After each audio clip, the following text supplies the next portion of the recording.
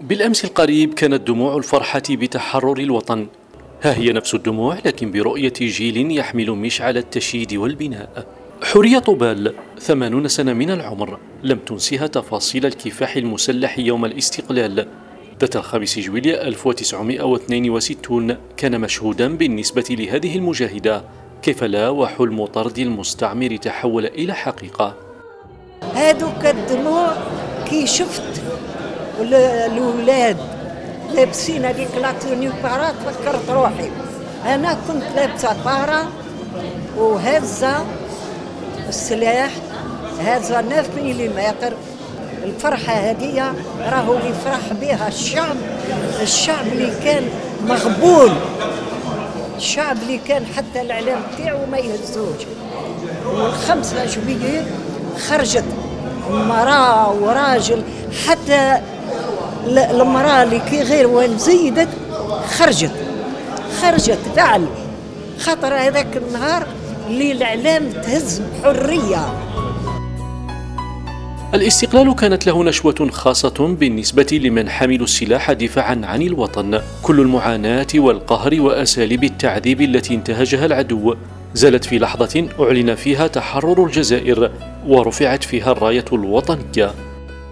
إحنا على كل حال وصلنا بواجب نتاعنا الله سبحانه وتعالى عنا. لأن مثل الاستقلال ما يجيش بسهولة. شجرة الاستقلال تسقى بالدم.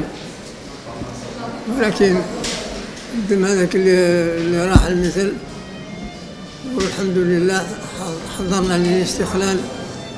وعنا ربي سبحانه بعناية الله سبحانه وتعالى. انتصرنا على فرنسا. يوم الاستقلال كان قناعة لكل مؤمن بالقضية الوطنية فلا شك راود من حمل السلاح دفاعا عن الوطن. لحظة النصر كانت عقيدة راسخة لجيل الثورة. لم أسمع ولم أشاهد ولم أرى شخص أو فرد من أفراد جيش التحرير من الأفراد المسبلين وفدائيين اللي مجندين مع الثورة نساء ورجال. كان يكذب أو كان يشك بان الاستقلال ما يجيش. مستحيل. بالنسبة للاستقلال هي فرحة كبيرة لا يمكن أن توصف بالكلام. فيها صور على كل حال اللي تصور أحسن تصوير. شيء آخر مقابل الفرحة بطبيعة الحال هناك آه، هناك أسى هناك حزن فهناك غبن وهذاك الغبن وهذاك الأسى سببه واش؟ يعود إلى ماذا؟ يعود إلى حاجتين. الحاجة الأولى أنه فيه أرامل فيه فيه نساء فيه يتامى كثيرين اللي الدموع مازال ما مسحوش من عينيهم. النقطة الثانية هو أنه جاي الاستقلال وجاية مرحلة أخرى تاع بناء وتشييد الوطن بناء الوطن. كيف يمكن أنك تطلع بهذه المهمة تاع البناء؟ وأنت ما عندك والو.